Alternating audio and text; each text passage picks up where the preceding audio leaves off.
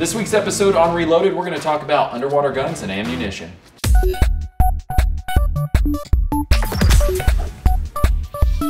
A lot of times when you watch a video on the internet or on TV, you might see a disclaimer or a warning that says do not try this at home. Now when it comes to firearms and explosives, something might look really, really simple on camera, but in reality there's a lot of crucial training and safety measures that are going on in the background. Now my last video for underwater guns was a great example of that. My buddy Destin from Smarter Every Day just released his video that he shot with the slow-mo guys from eight months ago. My video took over two months of trial and error to get ready for Shark Week. To give you guys an idea of what all goes into the video, I'll break it down into a few different categories. And the first thing I always focus on is personal safety. Now, weapon malfunctions and stuff like that can be extremely dangerous along with explosive malfunctions. And you have to really go through and dot all your I's and cross your T's, make sure everything's good before you go and pull off any shot. So I built a few different rigs to fire the weapons underwater to see how they would react before I did anything personally. Now, even before I put them on the rigs to shoot them underwater, I had to break them all down, do some maintenance on them, check them for stress fractures and stuff like that. You wanna make sure that there's no rust or anything like that that could potentially cause a, a total malfunction on the weapon system whenever it's being fired, let alone if you're holding it whenever you're firing. So after doing several tests on all the different weapon systems and stuff, I was confident in being able to shoot it myself. In fact, I actually set up a few scenarios with the AR-15 to show what different malfunctions would look like underneath the water. Another, another thing that I did was using the different types of ammunitions on the rigs because I wanted to see how it affected the barrels whenever the ammunition was coming out. So you want to make sure that all that stuff is, is, is safe for you to handle because the last thing you want to do is, is discharge a, a firearm underwater and uh, have a total malfunction right there with the hand that's uh, firing it. Next up was environmental safety. Now, whenever you're discharging a firearm, you're shooting, you need to know your target, what you're shooting at and what's behind it. You definitely don't want to do this kind of stuff in a residential area or something like that that you are not 100% sure where your ammunition is going to be going because an accidental discharge in a residential area or um, a type of malfunction or something like that that might not go as planned could do damage, not only kill someone, but could do damage to someone else's property, your house, your pool, or whatever. So a lot of people have tried this stuff I definitely, definitely don't recommend it because the different calibers, depending on the, the angle at which you're shooting and how deep the water is and everything can really dictate how the bullet's gonna react. So after personal safety and environmental safety is camera safety.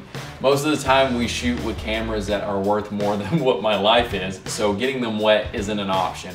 So we built a few different types of rigs so give you an idea of what we were using, we were using the Rated R slow-mo cam, the Phantom Flex, Phantom Miro, and the Phantom 1610. And one of the rigs was made out of mirrors. Uh, all we did was we take a acrylic aquarium, take and put a mirror board in at a 45 degree angle, take and put another uh, mirror board at a uh, 45 degree angle up above it at the top of the tank and have that shooting out over the water so we could shoot our camera straight across. And then uh, some of the other stuff that we set up was just an aquarium rig and then some of the housings had waterproof rigs that we could take and put the cameras completely underneath the water. There's a lot of attention to detail that went into something like that. It wasn't just sticking a camera underwater and then uh, filming yourself shooting some guns. Now the whole process seems like something very simple, but it took a lot of time. It took months of research and building these different platforms and stuff, testing out different firearms, different calibers of ammunition to go in and know that I can use these really expensive cameras and not have to worry about anything being damaged or anything being harmed in the environment, myself, or the cameras. Now make sure you stay tuned because I will be getting into some very practical supercavitating ammunition really, really soon. Supercavitating ammo is really, really new, but the technology behind it's actually from the 60s whenever the Russians were using uh, torpedoes in this supercavitating technology to keep and maintain a specific velocity for the torpedo and be extremely accurate compared to the drag that you would normally receive on the object trying to flow through the water. On the AR-15 that I shot underwater, I haven't cleared the uh, malfunction on this just because I wanted to show you guys, but the, the bolt and carrier group is completely stuck within the, the barrel and a few different things happen there to keep the brass from extracting on it. The, it looks like the, uh, the, the brass expanded in a weird way where it seized up inside the barrel. So I'm gonna have to take and uh, lube this up, break this down, and clear this. But um, it's a really good example of a weapon malfunction underwater and how things can go wrong. I'll pull up the slow-mo clips here.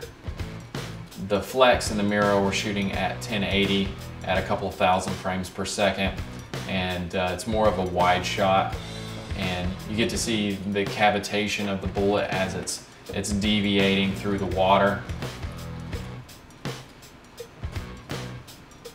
Yeah, the difference between the 9mm uh, hollow points and the FMJs pretty remarkable too because the hollow points, whenever they start expanding, you can see the water start spiraling. It's already spiraling in the hollow point and everything from the, the rifling of the barrel, but it really, really accentuates it whenever the uh, hollow points are spinning through there and you kind of get that, that break in the, the, the bubbles there. We'll just go ahead and show the AR-15 in this video, might as well. The AR-15 full metal jacket malfunction is one of the uh, really cool slow-mo clips from the, from the shoot. So you can see how I turned my foot so I knew that the, the magazine would probably be coming down or the floor plate or something would be shooting down. So I, every time I fired the rifles, I, I kept them intentionally in front of me so that if anything did shoot down, that it would clear my foot. Uh, I'm shooting right-handed because if, if the brass comes out the side or some type of debris comes out, the way I'm holding it with my right hand, pretty much everything is clear. It's safe for the most part. Um, pulling the trigger on it, you see the, um, the gases coming out the side of the, uh, the, the rifle there and then the magazine and the floor plate the floor plate even uh, there's a lot of a lot of the uh, gas coming out the bottom there and uh, just pieces of the, the, the magazine coming out it doesn't seem like too much of the velocity of the round was lost compared to the hollow point one. But uh, yeah, you see like as my reaction of like move, sliding my foot out of the way as it's as it's coming down, and then all the gas coming out the top, the top of the or the side of the rifle. That's huge. Keep that in mind. This is this is a uh, a scenario that I mean could potentially happen to anybody trying to fire different weapon systems underwater and it's, again it's extremely dangerous. I really wanted to give some type of an example where, where people could see it's not something that you want to try at home. Malfunctions or something be taken really really seriously and um, hopefully you guys get a, a little bit of entertainment value out of checking out some of these slow-mo clips. Let me know what weapon system or what caliber you want to see in the comments below and don't forget new episodes every single week on Rated RR and new episodes are reloaded every single Monday right here on TechFeed. See y'all next time.